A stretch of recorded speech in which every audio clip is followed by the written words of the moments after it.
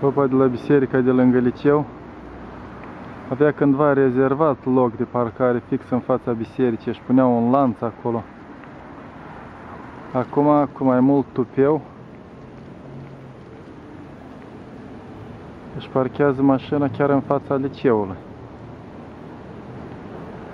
Unde teoretic n-ar trebui să ai acces pentru că e zonă pietonală, aici e teren de joacă pentru copii, aici chiar dacă făcut un cinematograf în aer liber.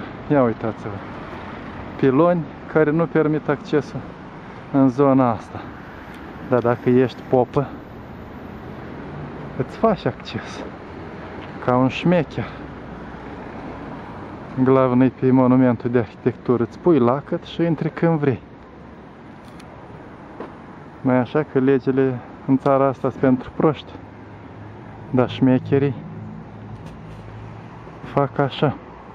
Prihvatizează inclusiv trotuar acolo când va avea popa parcare. Dar deja au scos lanțul de acolo și l-au pus din coace.